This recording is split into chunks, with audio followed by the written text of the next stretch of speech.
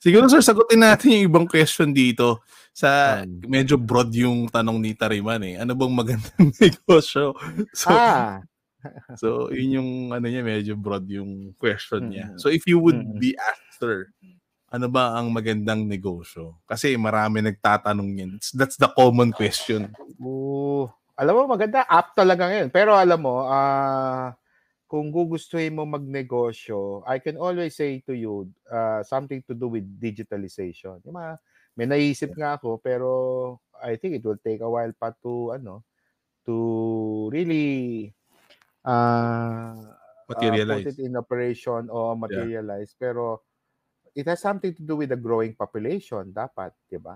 Mm-hmm. Kasi the usual pa rin yan, food. Pero kung medyo techie guy ka, ang galaw ng mundo ngayon is disruption eh.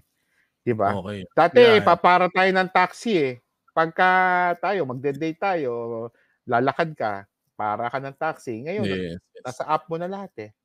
Dati hmm. kahit bumabagyo, manonood tayo sine, lalakad tayo sa baha. Ngayon, at the comforts of your home, Netflix. Meron na, no? So, ang maganda pa sa mga ganyan negosyo, walang tao. Iilan lang kayo. Oh.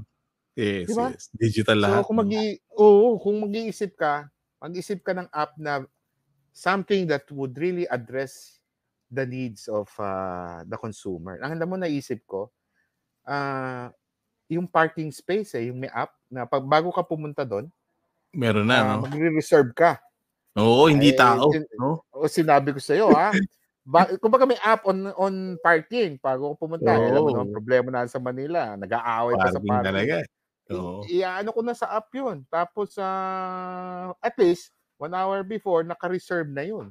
So, pagdating ko doon, diretso na ako mag-park. Eh, mga ganon. I mean, you know, uh, tignan natin yeah. yung uh, problema at, uh, well, perhaps we can create an app for that. Yeah, yeah. So siguro uh, the, the lesson here guys no, is kay Taraman din yung kumbaga solving a problem. Yun yung I think one of the characteristic of uh, entrepreneurs no. They love solving problems no. And yung mga hindi entrepreneur, ayaw nila nun. Ayaw nila mag-solve ng problem. Pero, sabi nga natin, if there's a crisis, there's a problem, there's a everything, there's a opportunity, di ba? Tama. So,